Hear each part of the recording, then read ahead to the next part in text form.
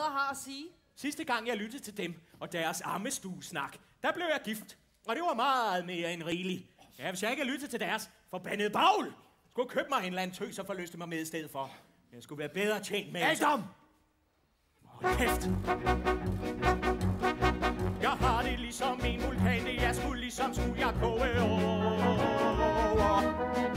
Men hun skal få at se, man ikke leger med en Adam hun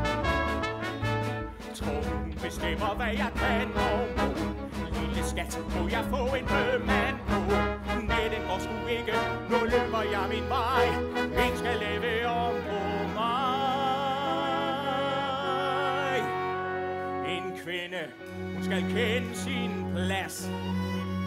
Og altid gør sin mand tilpas. Og hvor er kvindens plads? Så her i Guds eget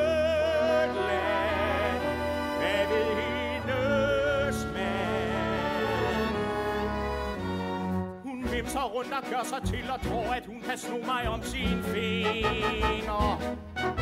Og drengene, de pjok, de tager sig som de fik elektrisk chok. Hvad skulle de ned i byen på den pæne tur? Når Mimi laver huset til et jomfruer? Let og eleganter, smart og revet snu Slut med deres rendezvous En kvinde, hun skal lyde sin mand. Og gøre det så godt.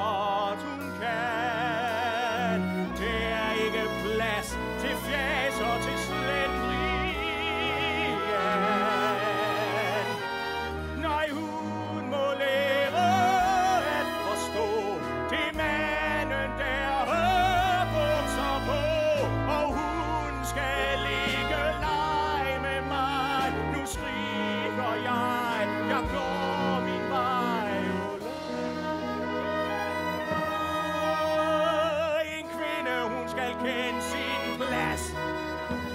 Og altid gør sin mand tilpas. Det er slut med hendes leg med